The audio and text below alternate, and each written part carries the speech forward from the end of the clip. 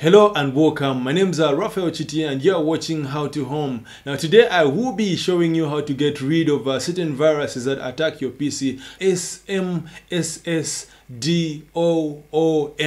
Now this is not restricted to this virus only. It may be any virus that attacks you, but let's get to know how you need to get rid of this virus. And all you need to know is just a little bit of a computer information. And the first thing you need to know is where to find your task manager where to find your task scheduler. But in case you don't know these things i will be able to show you. But forgive me about the video quality. I was unable to install screen recorder. So i was using my camera to record on the screen because the computer was infected. And i do hope that you understand. But without further ado let's get started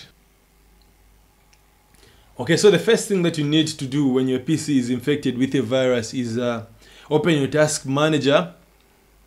Okay, so this is where you find your task manager and then go to uh, startup. If you have been checking your startup, you'll be able to know that there are some new programs that have started appearing and these may be the programs that are causing uh, the whatever your PC is going through. So in my case, I've got uh, this one. It's uh, by the name of SMSDOOM and they are like um, instances of them as you can see. Okay, when I right click, uh, there is no open file location which was going to be the quickest way but uh, in that case I'll just have to I'll just have to go to temp alright I just have to go to temp because that is exactly where the virus was showing me that it is uh, hidden so when I check temp this is the file that was being detected as a virus. So what I'll do I'll have uh, to delete this folder. Okay now that folder is deleted. When I restart my PC I'm having an error that is uh, popping up asking me that some files are missing.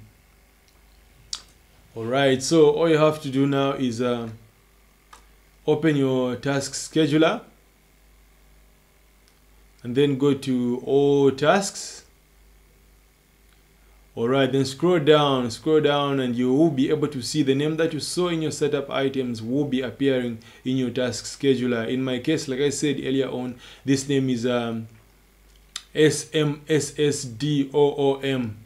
Alright, so this is a task right here. All you have to do is to delete the task.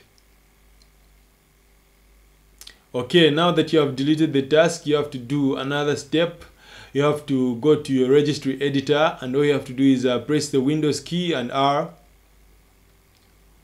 Okay and then you have to go to H key local machine. Alright and then from there just go to find and then key in the name of uh, the, uh, the virus that you're looking for. And in that case it is a uh, SMSSDOOM alright and every time that you find something delete it and make sure you press F3 and you find another instance and keep deleting and keep deleting until it tells you uh, finished. After that let's go to HKey current user. Current user you also do the same thing. Uh, go to find type in the name of the virus hit enter. And then just keep deleting what you find and pressing F3 so that you can locate another one and keep deleting and deleting until it says finished. Okay from there it's finished. Let's now open our task manager. All right let's go to startup again. And boom you can see that all the viruses that we're showing have disappeared. Now this is the way that you manage to get rid of viruses. Thank you so much for watching my youtube channel. If you like the video make sure you subscribe hit the bell and see you next time